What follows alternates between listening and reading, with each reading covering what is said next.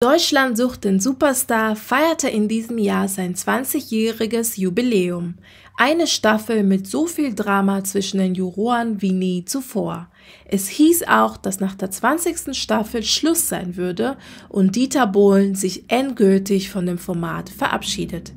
Dieter ist derzeit sogar auf Abschiedstournee durch Deutschland, doch dann kam beim Finale der Staffel der große Hammer. Es wird eine weitere Staffel im nächsten Jahr geben und dieses Mal mit großen Veränderungen.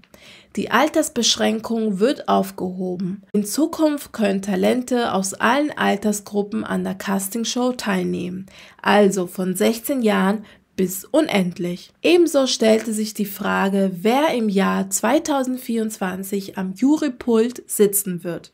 Klar ist, dass Dieter Bohlen Juror des Formats bleiben wird.